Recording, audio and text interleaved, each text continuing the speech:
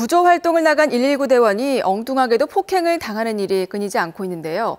법원이 이례적으로 소방대원을 폭행한 40대에게 징역형을 선고해 앞으로 처벌이 강화될 것임을 예고했습니다. 박명선 기자가 보도합니다. 응급 환자를 구조하기 위해 출동하는 119 소방대원들. 하지만 현장에서 낭패를 겪는 일이 속출하고 있습니다. 술에 취해 멱살을 잡고 빨리 가지 않는다며 구조대원의 얼굴을 폭행합니다.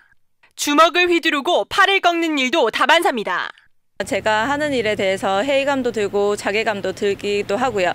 그리고 그 다음부터는 폭행을 할 것 같은 사람이라든가 조금 술에 취해 있는 분들을 보면 어, 구급 활동을 하기 전에 두려움부터 먼저 앞서는 이처럼 최근 3년간 구급대원을 폭행한 사건은 부산에서만 모두 20여 건이 넘습니다. 조사 결과 소방대원의 30%가 심리치료를 받기를 요구하고 외상 후 스트레스 장애까지 호소하는 경우가 늘고 있습니다. 그러나 그동안 소방대원 폭행에 대한 처벌은 상대적으로 약했습니다. 200만 원 이하 벌금형이 대부분이었습니다. 하지만 최근에는 재판부의 처벌이 강화되고 있습니다.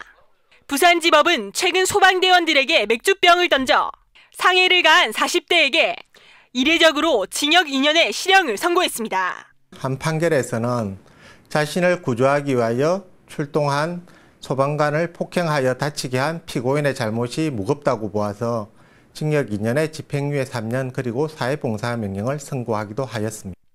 앞으로는 소방대원을 폭행하거나 업무를 방해하면 강력한 처벌을 받게 됩니다. KNN 박명선입니다.